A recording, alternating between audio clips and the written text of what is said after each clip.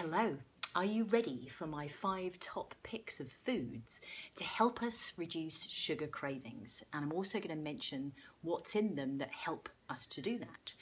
So the first thing are green smoothies. Now this is probably something you're already using or if you haven't you will have heard of it. Now a couple of tips when you're doing this is to make sure you include a healthy fat in your smoothie. So um, good fats can actually actually help us burn fat, but it also helps to reduce the GI. So something like that would be a virgin coconut oil, a, a teaspoon of that.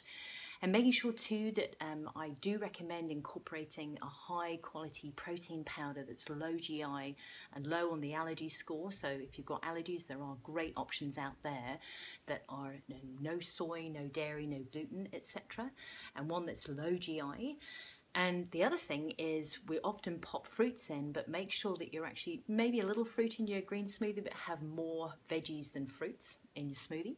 So that's the first one. Second one is cinnamon. Fabulous way of reducing GI. This is great to sprinkle actually on your smoothies.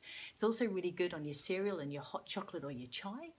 Third is chew on a lovely apple or a banana. These are packed with fibre and important um, trace elements and, and, chromium actually in particular that can help reduce those cravings. Fourth is beetroot and it's a naturally sweet, you probably noticed, a naturally sweet veggie and this is also really good for helping to reduce inflammation but also really helping to stabilise that blood sugar.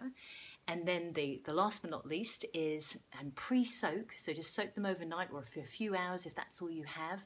A couple of tablespoons of seeds and nuts, so almonds are good, sunflower seeds are great, pumpkin seeds are great and pop a medjool date in there as well and soak all of those and then give them a good drain sprinkle with a little bit of cinnamon. But they're excellent for being low GI they're packed with fiber and they're good on protein. So higher the protein really helps to stabilize and reduce those cravings.